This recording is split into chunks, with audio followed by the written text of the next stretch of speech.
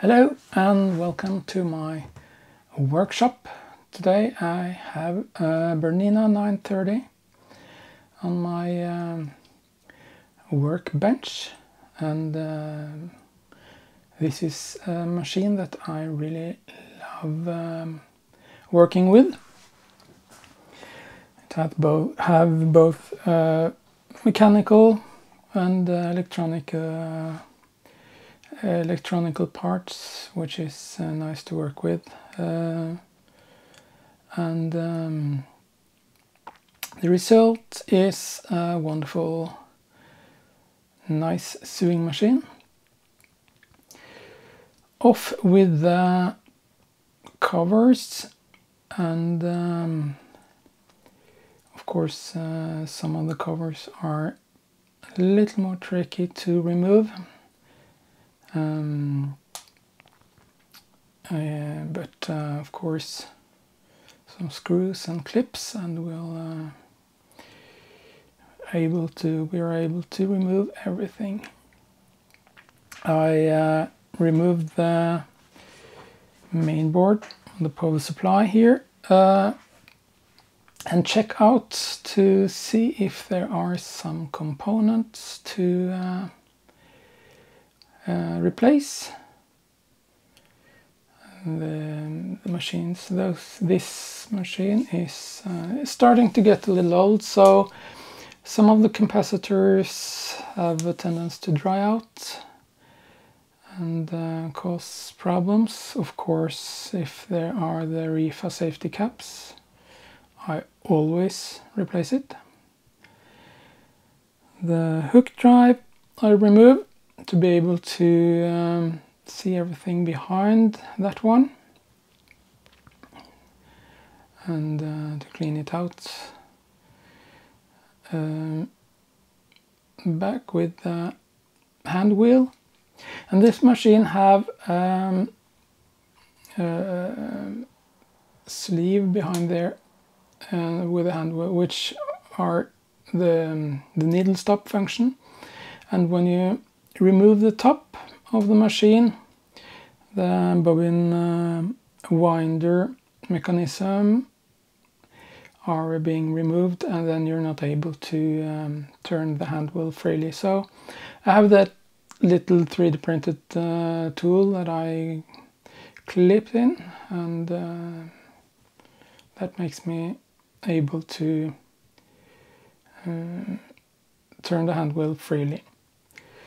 Uh, the long stitch, basting stitch, is what I is what I'm testing here, and um, I've experienced some problems with it. So I try to see what's the um, exact problem, and uh,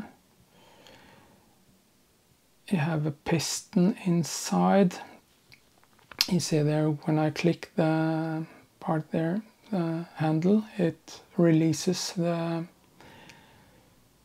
the needle bar but not every time. And when you're sewing of course the uh, this mechanism mechanism mechanism really have to work quickly. So if there are some um, parts in in there which are slowing it down uh, old oil or, or something which is holding the piston back. It's uh, hopeless to to um, to use that uh, so. But now over to the oiling um, going back to the um, basting uh, long stitch mechanism after uh, after a short after finishing the, the other oiling. Thin oil um, most of the places. Checking that everything is is moving freely. Uh, so every part is, is uh, go over and check. And here we come to the mechanism which are controlling the, the long stitch. Um, and uh, yeah, of course, some thread which is uh, stuck in between there. That oil is a little thicker than the other oil, so um, a few parts I use that little thicker oil. Um, here are the, the long stitch uh, mechanism. Um, some oiling and going over that to see if there are something with um, mechanical parts here which is which are causing the problem.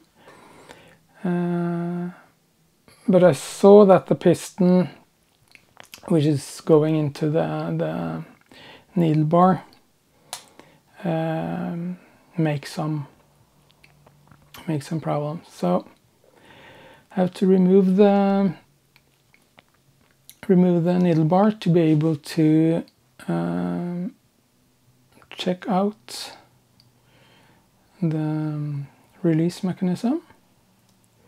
And this one is really stuck. Um, so to be able to remove it I had to use some uh, a slight amount of uh, violence force to um, free the needle bar yeah. There we have it. Free. And uh, of course the, the, the reason why it's this this part is stuck is the old oil which is uh, getting thicker and uh, uh cleaning with um, cleaning alcohol is um, important.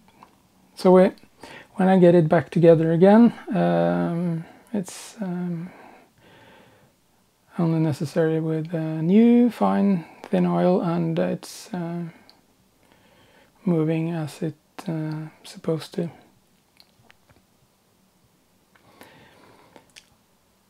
A little tight in there and uh, freeing the needle bar is a little challenge, but uh, there it is. And you have the, have the um, release mechanism there. Cleaning alcohol and going over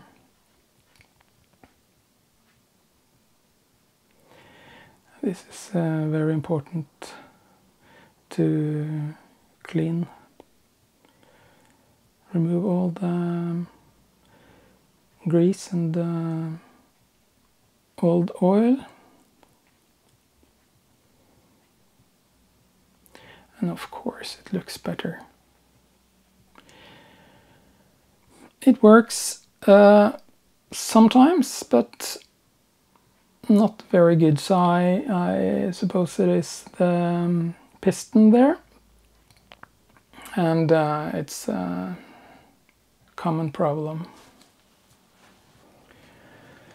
Uh, but here I um, uh, control the um, distance so when I put it back together again it's uh, easy to just use the same measurement as um, it was originally. So I lock the distance, distance there and then I can um, remove that and um, take it apart. And clean of course. Cleaning alcohol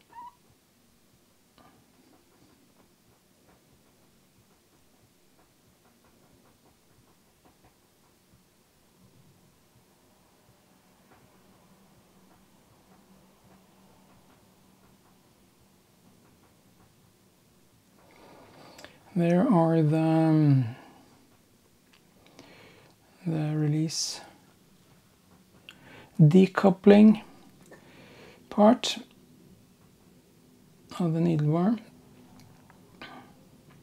It looks like um, it moves freely, but um, uh, there was some small um,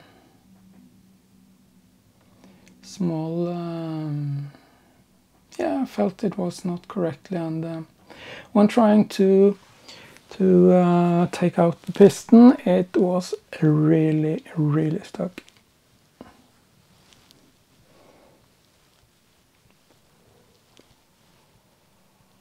Here it is. So hard to to take out this uh, this piston. So I really struggled with that and uh, of course you have to be careful so you're not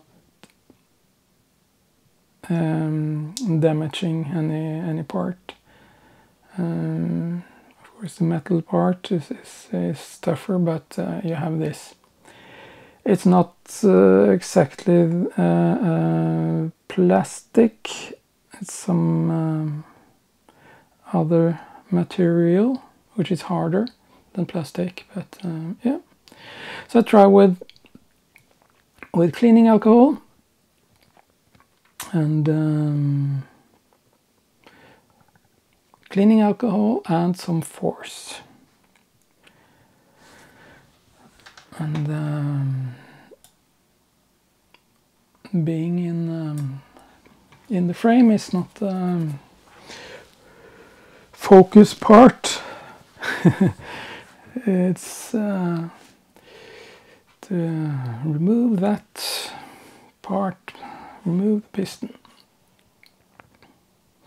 And uh, behind the piston there as well uh, is a very um, tiny uh, spring, so um, I have to be careful. Some the spring is uh, is not uh, all over the place when uh, taking the, the piston out.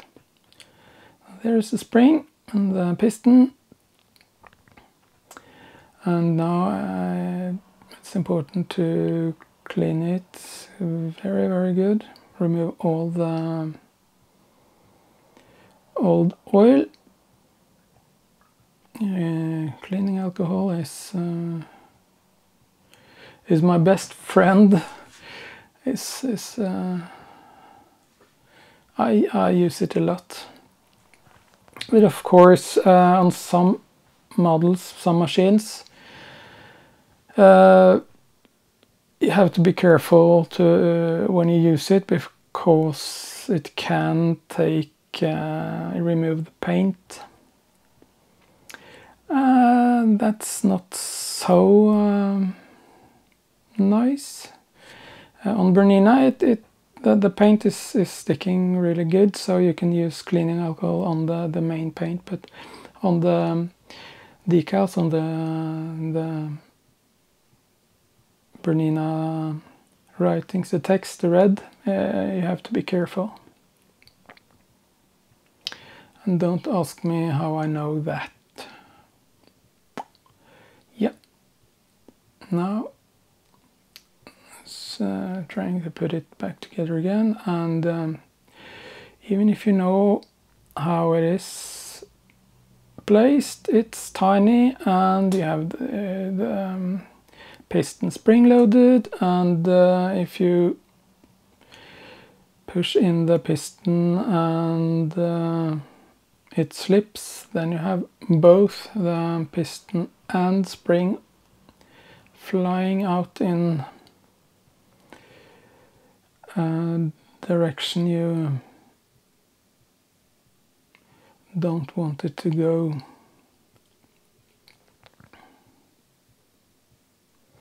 I have to push in the push in the piston and uh, then put in the handle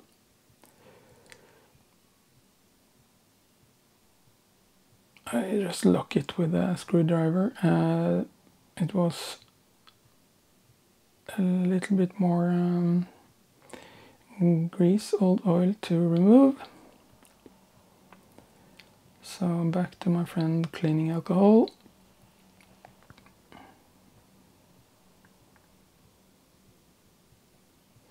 And it's tiny, uh, so um, using tweezers or yeah, small screwdrivers and can be a little tricky sometimes to keep all the part in place as you want to so. Now it's just the circlip which is left on um, that part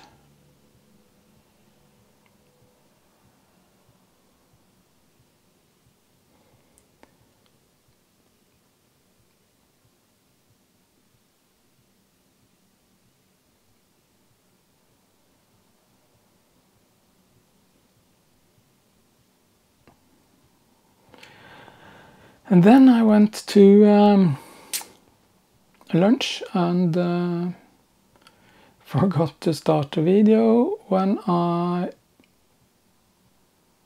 came back. So voila, it's finished. Trying to look at uh, the angle there.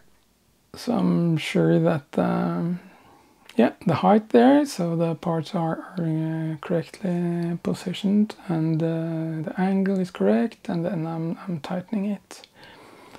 So um, I have to of course recheck this when I put it back together but as uh, much um, everything that I can do outside is of course uh, easier. It's it's uh, yeah. So looking at the angle here and um, check if it's uh, correct. And that's that's really important here because the piston is going into a little hole in the um, in the needle bar and uh, if the needle bar are a little bit twisted or yeah it's uh, it's not going into the hole so um, so it's not working at all. It don't uh, the decoupling is not working at all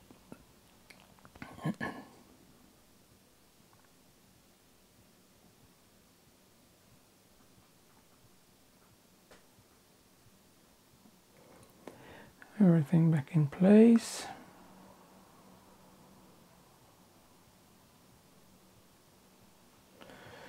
Oil.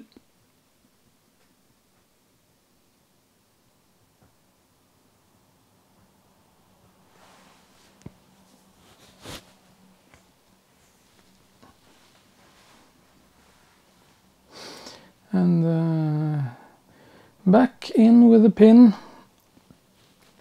which is uh, much easier to put back. Cleaned with cleaning uh, cleaning alcohol and uh, oiled, uh, it's uh, much easier to, to put back in place.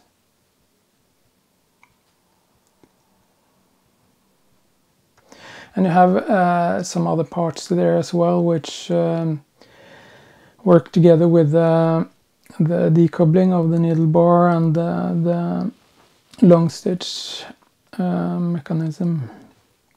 So the needle bar is a little more complicated, some more parts than uh, an ordinary needle bar. So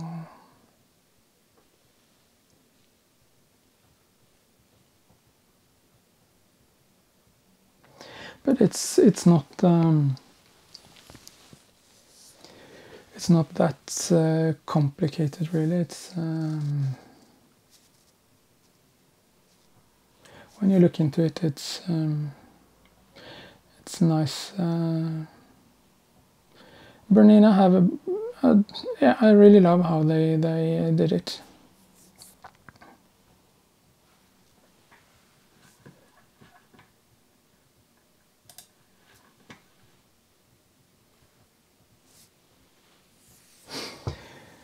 Cleaning the toothed rack there and uh, of course the the where the hook driver and the hook is, is going. And uh, as I said, uh, I always remove the, the hook drive. They're using a um, tweezer to remove the dirt.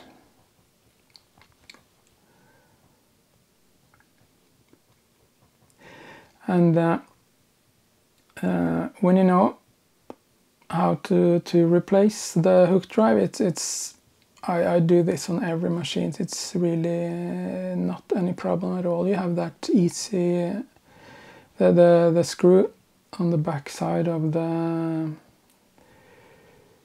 uh, free arm easy to uh, to reach you just um,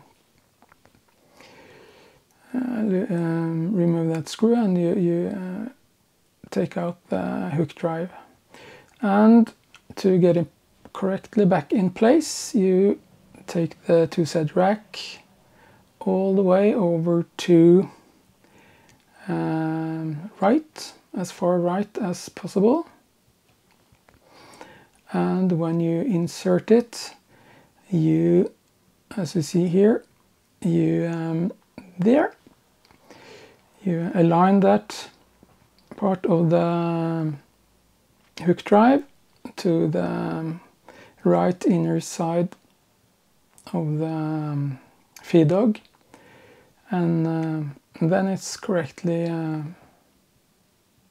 placed so and that's uh, the, the, the CB hook bobbin is the same on everyone so it's it's not any problem at all to um, do that so over to the electronics. Uh, you see here the part, uh, the um, blue ring is the safety caps that I'm uh, replacing.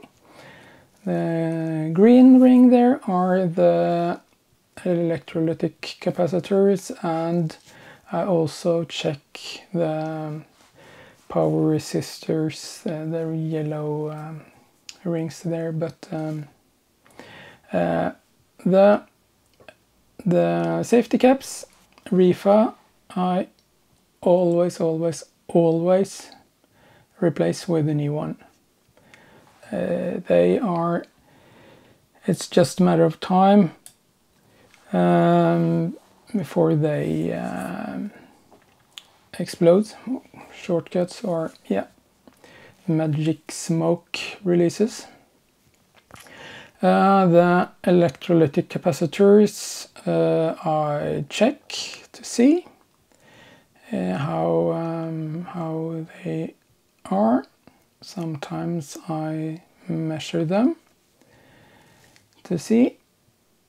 And um, but in this case I figured out to yeah I just replace them with uh, with a new one.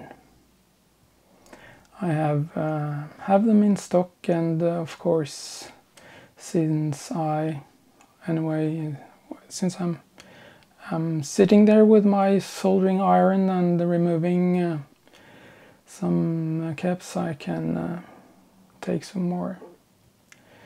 And with my technique there, holding the capacitor uh, component in place while uh, soldering it uh, with with um, soldering iron checking that everything looks okay so now the Rifa is gone and that's a good feeling. Now it's time for the electrolytic capacitors. One um, one electrolytic capacitors, I think it was on uh, was it in 910, which explodes almost in my face, so I have a scar on my arm after some uh, hot metallic parts, which was uh, was uh, yeah, uh, which hit, hit me in the arm, and uh, it almost the paper from the capacitor was uh, yeah almost like confetti in my workshop. It was uh, not a very nice uh, feeling really. It it, uh, it, sounds like a gunshot and uh, if I had standing more right above it my my eyes yeah I no I can't think about that. So with new uh, components uh, it's time for um, the last uh, part, the, um, the um, thread tension on um, upper thread there. Uh, on on this old machine, I always um, always uh, remove it, and and what you're not seeing here is that uh, after um, yeah here I line up the the plate there so it's directly in the middle of, um, the groove there. But um, I uh, I of course the whole machine I have uh, vacuum cleaned and I have used compressed air and uh, and uh, cleaned it uh, so so the top there and all the machine have been uh, been uh, cleaned.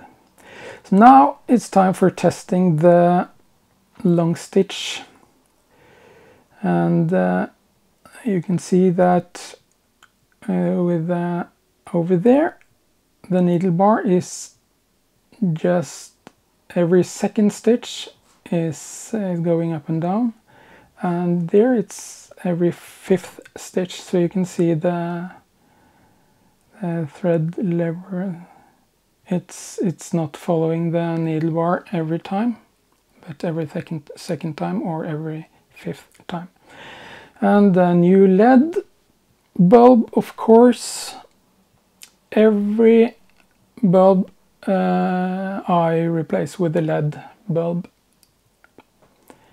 it's it's uh, better light. These bulbs light have have a light strength. The, they they have the same light as a 30 watt bulb instead of 15 watt, which is the maximum um, um, maximum bulb you can have in these machines. So there it is. I hope you uh, enjoyed taking a look at this and uh, have a really nice day.